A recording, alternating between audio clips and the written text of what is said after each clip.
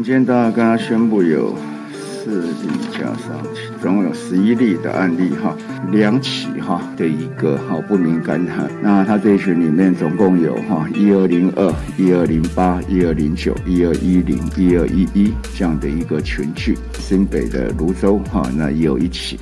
那四例是境外移入，那都从印度。哦，那其中有三位，一二零四到一二零六，五十多岁男性，四十多岁女性，二十多岁的男性，那都是本国籍哈。在去年十二月和今年三月、二月到印度工作，那他们都是五月八日哈，搭同一个班机返台哈。那三人皆于今日确诊哈，那就是说昨天已经有公布两个案例哈，该班机哈总共有五个人确诊。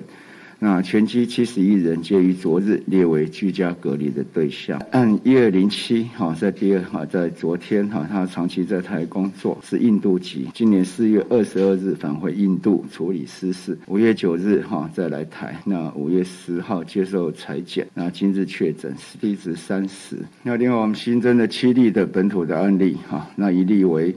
一一八七的哈接触者哈，那这个列为一二零一哈，四十多岁的女性哈，是一二八七的同住家人。五月九号经卫生单位安排哈，我们就是在居家哈隔离，那也裁剪。那今日确诊 C 值二十二，那接下来就是我们比较多的一个哈案例。这里面大概应该是说有两起哈的一个哈不明感染，目前还是不明感染源的哈的一些社区的感染哈，那分作两块，那一块是一二零二哈这一群哈，那他这一群里面总共有哈一二零二、一二零八、一二零九、一二一零、一二一一这样的一个群聚，另外一个哈就是在新北的泸州哈，那有一起。一二零二为本国籍，三十多岁的女性。那宜兰罗东镇中正北路银河百家乐，那地址是宜兰县罗东镇中正北路四十二号之二。好，那基本上她在发病前可传染期，五月七号、八号、九号，好，她都上这大夜班哈，就是零时到八点的班，上下班都骑摩托车哈。因为在五月九号哈出现发冷、全身无力、咳嗽、发烧等症状，在医院就医及裁剪，那今日确诊是。离职二十，他们昨天晚上接获这样子的情况下，就立刻展开相关的议调，先框列了三十七名，那陆续还会在框列中，那三十七名很快，他们就已经采了三十五名哈。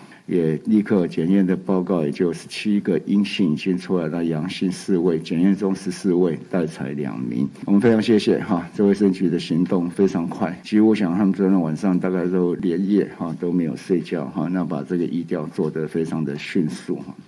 那它这里面的相关一二零八、一二零九、一二一零、一二一一，它是一二零二的同事，一二零八的 CT 值是十一，一二零九的 CT 值是二十，一二一一的 CT 值是二十五。那皆为女性，哈，年龄介于十多岁到四十多多岁，其中两人无症状。那其中的一二一一到五月八日，它就有一个不适的情况，哈，按一二一零为游艺场的常客，CT 值十二，三十多岁的男性。那五月九。九日曾有咳嗽、腹泻的症状。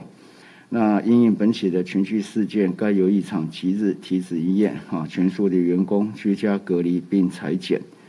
好，那今天可以开始，卫生单位哈已经开始进行环境的消毒及防治的措施。一月人生是本国籍六十多岁的男性，那也是近期没有出国史。五月七日出现疲倦、咳嗽、畏寒等情形。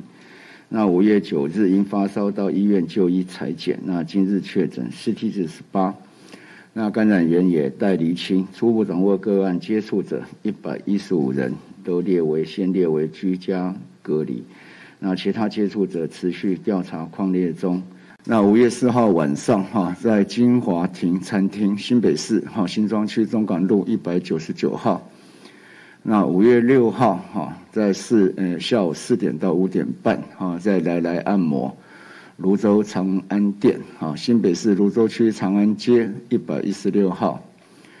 那晚上哈，在大风车婚宴会馆哈，在新北市泸州区集贤路三百九十五号。因为出现了感染源不明的本土病例，我们就啊宣布我们这个疫情哈集会的指引哈就升到第二级啊第二第二级，这个时间实施的日期到六月八号四周哈，观察两个循环哈，就是原则上哈，这些超过五百人的室外、超过一百人的室内活动，我们希望是能够停办哈。